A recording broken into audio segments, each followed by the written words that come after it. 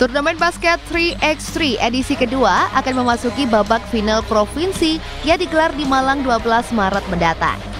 Sebanyak 24 tim putra dan putri kategori U18 dan U23 akan memperebutkan 8 tiket ke Grand Final Nasional. 24 tim yang lolos sebelumnya telah melalui babak CD Selection yang digelar di Surabaya dan Lamongan. Di antaranya Ubaya Pro A dan Ubaya Elite dari kategori U23 Putra, serta Zodiac dan Coral Girls dari kategori U18 Putri.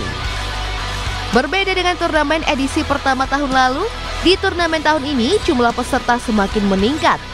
Kualitas peserta juga meningkat karena tak hanya berasal dari perwakilan sekolah, namun juga beberapa klub basket 3x3 dari turnamen basket ini diharapkan muncul pebasket muda potensial yang diproyeksikan untuk memperkuat timnas.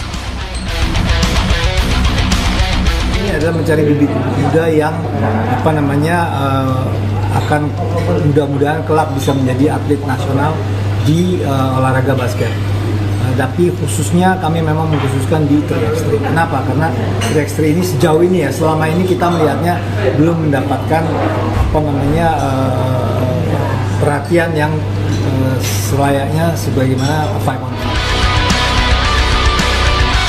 Sementara itu, Pengprov Perbasi Jatim menyambut antusias turnamen 3x3 ini. Diharapkan lebih banyak daerah di Jawa Timur yang bisa menjadi tuan rumah turnamen basket 3x3.